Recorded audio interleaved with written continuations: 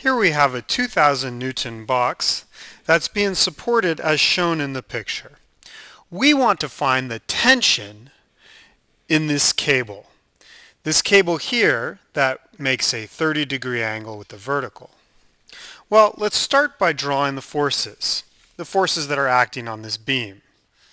Well, we have the tension force that goes along the uh, cable. We have the force of gravity and that's just the weight of the box, mg. And then we also have the force here, which I'm going to call the hinge force. Great. Now, we know to use sum of the torques equals I alpha. And if we use that, we can eliminate one of these forces.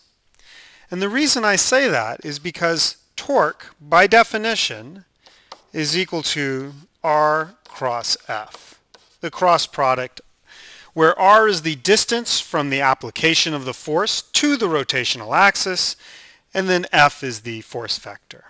Well, what does this tell us? This tells us that the torque is equal to the perpendicular distance from the application of the force to the rotational axis,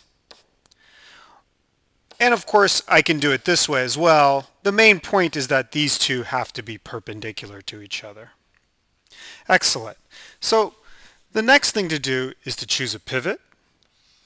And I will choose this as my pivot. And this effectively eliminates the hinge force. And that's because, well, if we write it out, the torque from the hinge, well, that's just the force of the hinge times zero. Because the distance from the application of the force to the rotational axis, well, it's zero. It's in the same place. So when the rotational axis is here, this force is not a torque.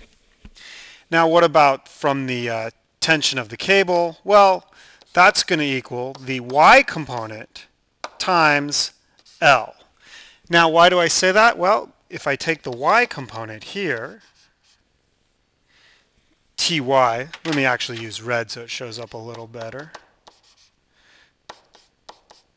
Well, here's the y component of the tension force, and then this right here, well, that's the distance from the application of the force to the rotational axis, and it's equal to a distance of L. Excellent. Well, the weight is at the same point, so the torque from the torque of gravity, let's call it, well, that's just equal to mg, the force of gravity, times L. Excellent. So now I have the torques acting on this object. And it's important to note, and I'll draw this in green, that the force of gravity is down, pointing downward, so it's going to cause a torque like this. Whereas the torque from the cable, well, it's going the other way, so it's going to cause a torque like this.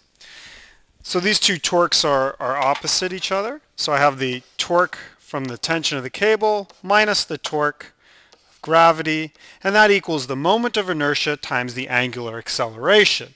But as we can see, the box is not moving, therefore there is no angular acceleration, and so this side is zero. Excellent. All that's left to do now is to plug things in. So I have Ty, the y component of the tension force, times L, minus mg, L equals zero. If I divide everywhere by L, these guys cancel. And I get that the, the y component of this tension force in the cable is equal to the force of gravity. Well, now I can just draw a triangle. I know that if this is the, whoops, this is the tension force, and this is the y component, this angle is 30 degrees. This would, of course, be the x component. Oops. Now I can write that the y component of the tension force is equal to the tension force cosine 30 degrees, just by applying a little trigonometry here. And therefore, over here I get the full tension force times cosine 30 degrees is equal to mg. And now I can just plug in the numbers. Um, we'll first divide both sides by cosine 30, so I get mg over cosine 30 degrees. And the mass times gravity, well that's 2,000 newtons. It's given to us in the picture. And that divided by cosine 30 degrees, well, 2,000 divided by cosine of 30 degrees is equal to 2,300 newtons.